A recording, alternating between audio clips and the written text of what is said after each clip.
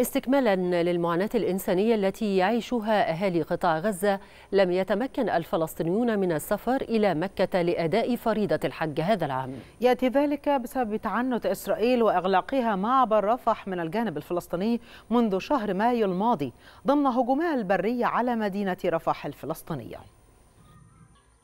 والله متألم كثير. أقول لك مش متألم عشان الحج والله متألم. هذه مناسك وهذه فريضة لازم نأديها. والله متألم كثير لكن لا حول ولا قوة إلا بالله. إحنا انحرمنا من الحج بسبب المعبر مسكر وبسبب الحروب اللي موجودة يعني دمار. دمار. لا قادرين نطلع ولا قادرين ننزل.